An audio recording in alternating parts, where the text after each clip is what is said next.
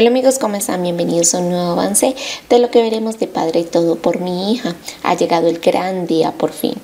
Y Ogur van a contraer matrimonio con las mujeres que más aman. Pero sin duda las ocurrencias de Ogur no se dejan esperar. Y es que ha dejado olvidado el anillo que le tiene que dar a Serdi en la joyería. Así que le pide a sus dos grandes amigos que vayan con él a buscarlo. Este llega muy contento a llevarse su anillo, pero justamente cuando se van a marchar llegan unos asaltantes que quieren todo lo que está dentro de la joyería y empiezan a notar el anillo que tiene Ogur en su mano. Sin duda Ogur se niega en dárselo, incluso le dice que si quiere le puede quitar la vida, pero que él no le dará el anillo. Así que Demir, Ogur y Semal, pues sin duda tienen que inventarse algo. Semal y Demir atacan a, a estos hombres asaltantes que querían quitarle el anillo a Ogur y impiden que lo hagan.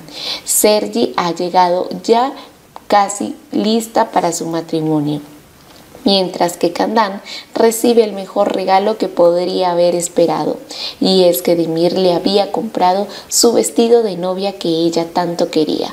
Lo que vemos es que Candán recuerda cada momento en el cual conoció a Demir, y sin duda alguna sabe que su corazón solamente le pertenece a él y que está tomando la decisión adecuada. Sergi y Candán se arreglan y se ven muy hermosas vestidas de novia. Candán le pregunta a Sergi si fue de ella la idea de decirle a Demir que le comprara el vestido, pero realmente fue de Oiku, así que Oiku le dice que no se moleste y Kandan se alegra muchísimo.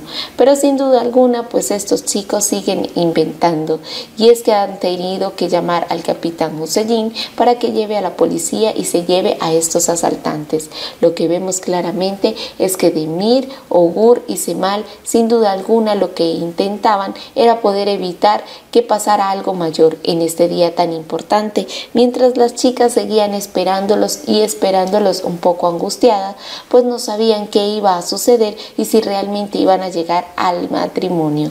Lo que vemos es que Mufide ha hablado con Sergi y le dice que ya se siente muy tranquila de poderse morir en paz, pues debido a que Sergi es la esposa de Ogur en este momento y es la mejor para ella.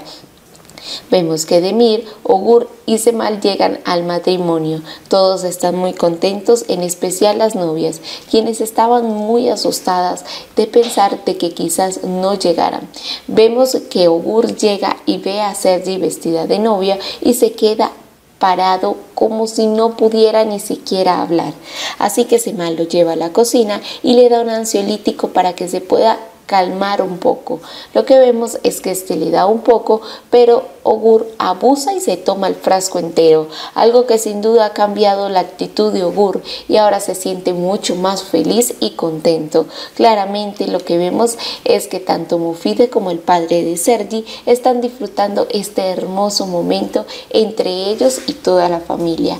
Lo que vemos es una gran boda en la calle, donde estos celebran no solamente con sus seres queridos, sino sino también con sus vecinos. Así con esto finalizamos el avance de este próximo gran capítulo de Padre Todo por mi hija. Muchísimas gracias por ver nuestros videos, apoyar todo nuestro contenido. Adiós.